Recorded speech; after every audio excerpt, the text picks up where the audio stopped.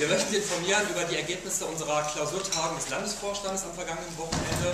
Ähm, Sie wissen ja, dass noch kurz vor der Sommerpause ein neuer Landesvorstand der Grünen gewählt wurde. Äh, mit uns beiden als neuen Vorsitzenden, aber auch mit dem insgesamt auch neuen Team. Und äh, wir sind jetzt in Klausurtagen gegangen, um sozusagen die Perspektiven der Grünen in Nordrhein-Westfalen auch für die nächsten Monate und vor allem auch Jahre zu diskutieren. Und wir haben als erstes die Lage der Partei diskutiert und bewertet und die ist natürlich, das können Sie sich vorstellen, auf Grundlage auch der Umfragewerte hervorragend. Äh, wir erleben also wirklich bundesweit, auch in verschiedenen Bundesländern, eine grüne Welle mit Umfragewerten in Berlin von 28 Prozent, von Baden-Württemberg mit 27 Prozent. Äh, wir haben das diskutiert, auch nochmal wissenschaftlich uns angeschaut, was da äh, sozusagen auch die, die ähm, Umfrageinstitute und die Meinungsforschungsinstitute zu sagen. Und ähm, wir haben vor allem zwei Gründe herausgefunden, für das, weswegen das so ist. Nämlich erstens natürlich, dass unser Politikangebot, unsere Inhalte auch mittlerweile sehr breite gesellschaftliche Schichten auch erreicht und überzeugt. Und zweitens aber auch, dass äh, offensichtlich ähm, unser Politikstil auch überzeugt. Wir leben ja in Zeiten, wo die selbsternannten bürgerlichen Parteien und die selbsternannte bürgerliche Koalition eher zum Bürgerschreck geworden ist. Zum Bürgerschreck, äh, was sowohl die Inhalte angeht, da werden wir gleich nochmal natürlich zur Energiepolitik auch kommen, aber auch zum Bürgerschreck, was den Umgang untereinander angeht. Und in diesen Zeiten stehen Grüne offensichtlich für Glaubwürdigkeit und für Verlässlichkeit. Und ähm, das haben wir, wie gesagt, auch nochmal wissenschaftlich uns angeschaut, dass Menschen uns deswegen auch unterstützen und wählen, weil wir offensichtlich eine Partei sind, die starke Überzeugungen hat, ohne aber ideologisch zu sein. Und äh, wir eine Partei sind, die auch bis übermorgen auch weiterdenkt und trotzdem auch in der Lage sind, aber heute und morgen auch realistische Konzepte, die auch wirklich verlässlich sind, auch anzubieten. Das spiegelt sich auch in unseren Mitgliederzahlen wieder. Wir haben äh, mittlerweile in Nordrhein-Westfalen um die 11.400 Mitglieder. Das ist der höchste Stand, den wir seit 1999 haben. 1999 war der absolute Höhepunkt und wir sind sozusagen jetzt quasi wieder dabei, auch diesen Höhepunkt zu erreichen dann hoffentlich dann auch in äh, Zukunft auch zu übertreffen. Und unsere Stärke, das haben wir ähm, auch nochmal analysiert, ist natürlich selbstverständlich die kommunale Verankerung vor Ort, unsere starken kommunalen Ratsfraktionen, unsere starken Orts- und Kreisverbände und die werden wir von Landesseite aus natürlich auch selbstverständlich dabei unterstützen, diesen gestiegenen Anforderungen, die eben auch diese Umfragewerte und diese neue Rolle auch mit sich bringen, auch äh, vor Ort auch gut wahrzunehmen. Das zweite Thema, was wir diskutiert haben, das passt eigentlich auch sehr gut ähm, sozusagen zu dieser Rolle auch dazu, ist natürlich die, der Staat der Minderheitsregierung hier in Nordrhein-Westfalen. Ähm, diese Rolle, die wir als Grüne auch haben, nämlich da auch äh, als verlässliche Kraft auch wahrgenommen zu werden, werden wir selbstverständlich auch in dieser Minderheitsregierung auch spielen. Wir wollen auch als Landesvorstand ganz äh, deutlich ähm, diese Minderheitsregierung auch stärken und wirklich zu einem Modell auch machen, was erfolgreich verläuft, was auch wirklich auf fünf Jahre angelegt ist, was fünf Jahre auch hält, ähm, weil wir auch damit auch die Erwartung verbinden, dass das ein Stück weit auch die Parteiendemokratie auch hier in Nordrhein-Westfalen auch äh, verändert wenn eine Regierung keine automatische Mehrheit im Parlament hat, ist sie natürlich auch darauf angewiesen, auch äh, sehr viel stärker nochmal für ihre Konzepte und für ihre Ideen, für Gesetzesentwürfe auch zu werben, sehr viel stärker auch nochmal auf andere Parteien auch zuzugehen. Und ähm, wir haben auch, auch die feste Überzeugung, dass wenn das auch wirklich gelingt, dass äh, auch ein Stück weit auch, ich sag mal, die, das Misstrauen der Bürgerinnen und Bürger gegenüber den Parteien auch ein Stück weit überwunden wird, dass also nicht mehr die, sage ich mal, erlernten, etablierten Kampfrituale zwischen den Parteien im Mittelpunkt stehen, sondern auch wirklich das Arbeiten an der Sache. Und wir verbinden eben damit auch die Hoffnung, dass auch in gewisser Weise auch diese Parteiendistanz, die wir ja haben, die erwiesen auch ist, ein Stück weit auch überwinden können. Das heißt, wir werden als Partei, als Landesvorstand, als Landesvorsitzende sehr aktiv auch daran mitarbeiten, dass diese Minderheitsregierung erfolgreich verläuft und werden auch in den nächsten Wochen und Monaten dort auch ähm, auf die anderen Parteien auch zugehen, also auf Ebene der Landesvorsitzenden, dort Gespräche führen. Wir werden Gespräche führen äh, mit dem FDP-Landesvorsitzenden, wir werden Gespräche führen mit den Linkspartei-Landessprechern und wir werden auch Gespräche führen, selbstverständlich mit äh, dem neuen CDU-Landesvorsitzenden, so wenn er gekürt ist und äh, dort auch eben versuchen auszuloten, was auch gemeinsam auch möglich ist, hier im Land auch gemeinsam zu bewegen.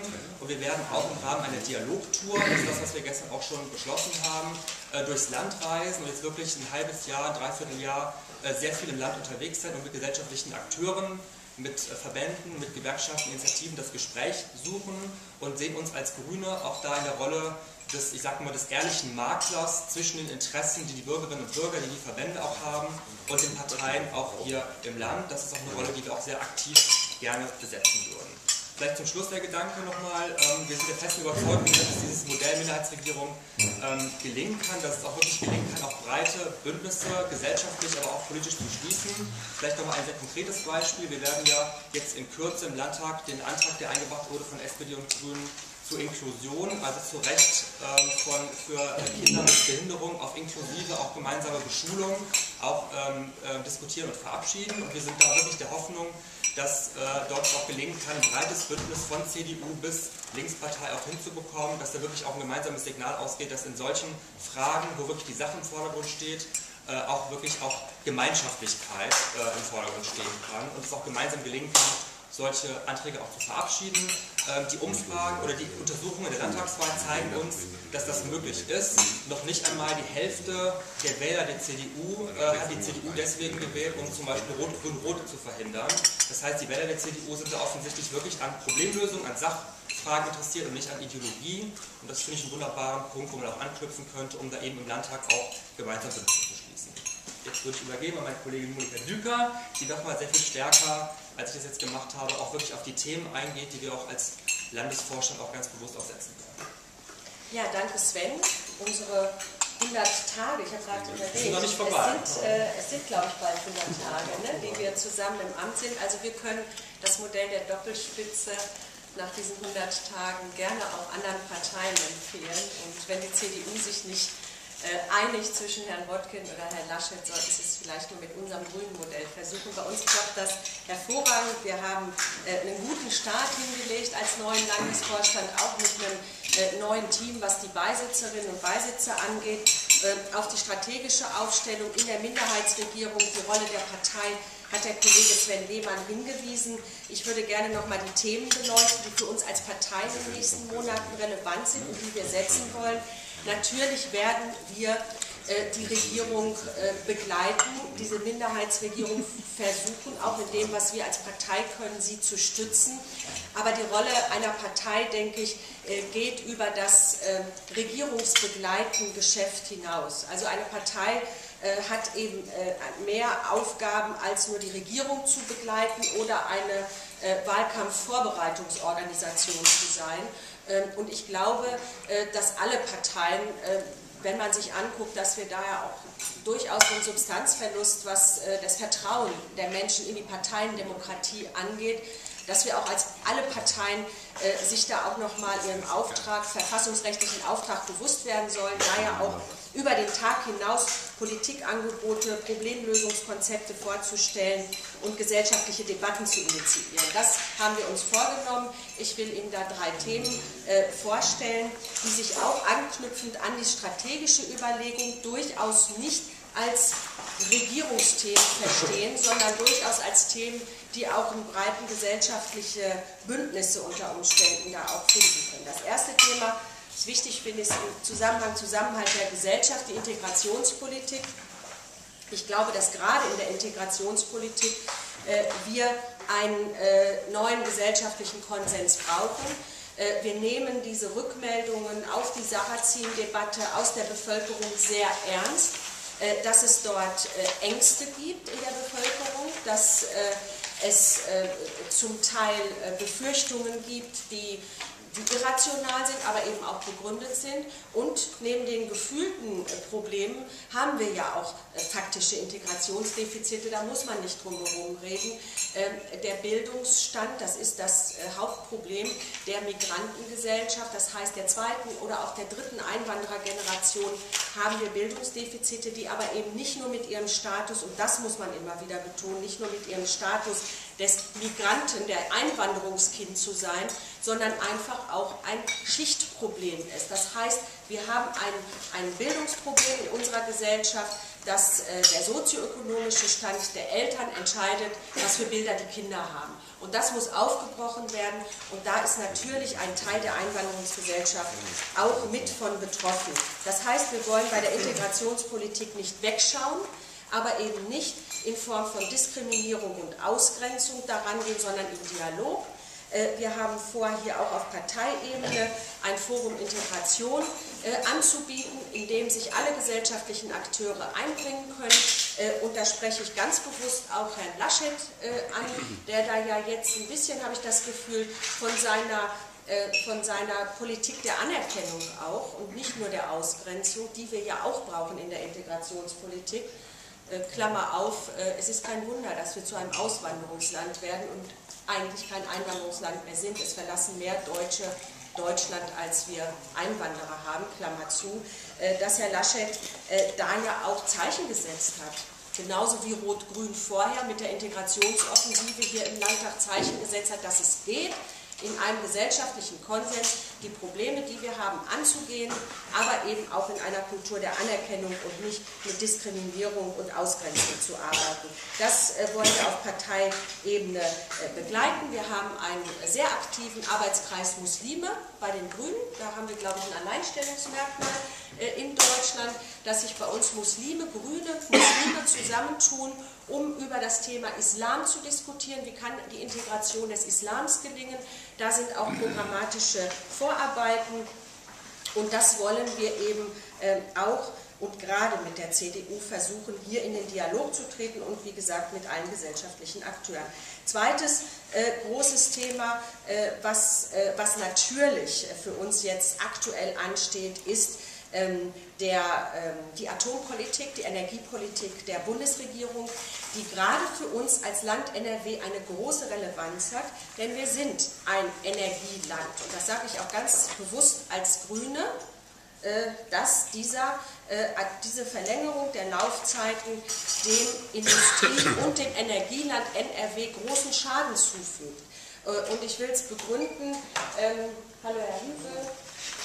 Äh, dieser Schaden, der uns zugefügt wird, ist, wir haben eine Energiewende im Koalitionsvertrag äh, vereinbart. Wir wollen die Uhren konsequent umstellen auf Klimaschutz und auf den Ausbau erneuerbarer Energien, auf Energieeffizienz, auf dezentrale Lösungen, auf Kraft-Wärme-Kopplung. Sie kennen unser Programm.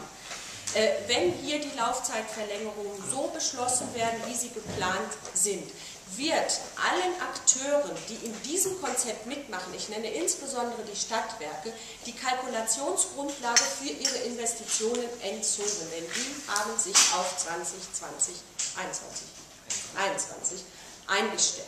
Und diese Kalkulationsgrundlage, die Ihnen entzogen wird, heißt, dass wir Investitionen in Nordrhein-Westfalen, in kluge, dezentrale, neue Energiekonzepte, die wenn wir über eine Brücke zu den Erneuerbaren reden, hier liegt in solchen Konzepten, dass, ihnen diese, dass diese Investitionen hier nicht mehr getätigt werden.